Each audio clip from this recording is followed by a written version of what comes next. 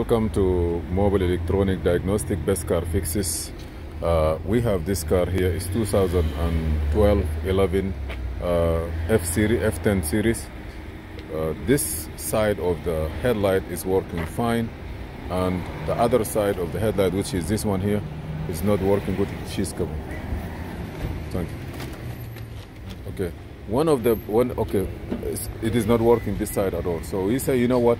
Let us try to check uh, the car. And the first step we uh, we get on the diagnostic, it say no communication between the light control module, the footwell module on the left side kick panel by the driver side is the one that controlling the controlling the the, the left side headlight and the right side headlight. If you put a new one, you must initialize. You must initialize it and then you program it and it will work. Now the left side is right side is working, the left side is, is not working. If you want to know if the problem if the problem is like wiring issue or anything, what you need to do is to uh, to to take the module out, the, the whole headlight out, and swap it with the right side. It's work.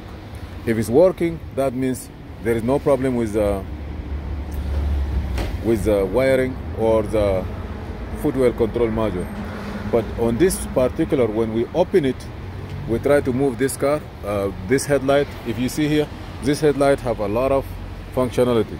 We have one uh, module here. It could be a blaster or, or a computer. We have this is uh, the headlight blaster. We have also here for the signal light. This like LED light. The problem they make this one to like a, a heat a heat uh, sink. Also, this is also could be a signal, turn signal light or LED light. It will not work unless if you initialize the headlight if you put a new one.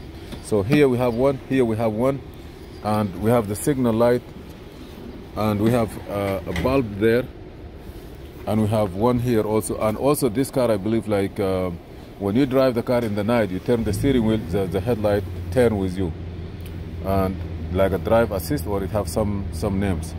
It have a computer here.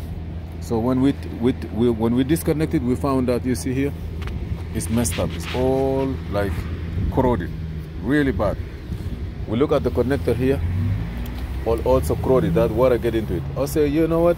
We're gonna cut this one. We put a new connector, and we look. We uh, we're gonna get another housing, but we say before we do that, let us check inside. And when we take the computer that is here, you see here, we found that it's soaked in water.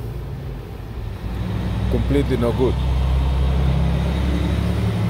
What we need to do now? No way.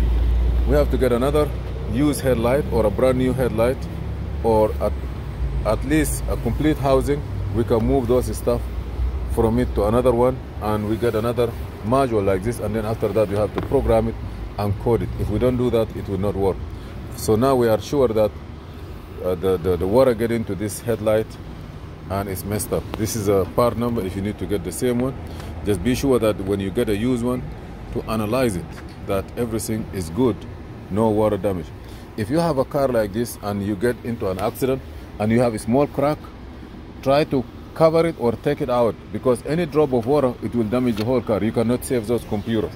For example, you drive and anything happen, you get a crack here or anything happen here, cover it or take it away and keep it till you get the housing and remove all those computer back. Those computers are very expensive to, to replace them when, when they go back.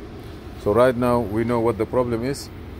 Um, we're gonna put this one back. Even you clean it, it, it doesn't make sense. You know, like you just plug it in the back where it is. Where it does. We're gonna put this one back here. It's like a chip slot. This is a, by itself is like a complete computer inside with all its functionality. So we're gonna put those back and we, we just we're gonna ask the customer what he wanna do. If you wanna get another headlight with the pigtail, he must get a new pigtail. This have to be cut or a used one, cut and, and, and solder it here. That's it. We don't have nothing to do more than this. Uh, thank you for watching Mobile Electronic. Please subscribe, share, and see you in another video. Uh, this is Best Car Fixes, Best, uh, Mobile Electronic, Muhammad Idris. Please subscribe, share, and like. Thanks.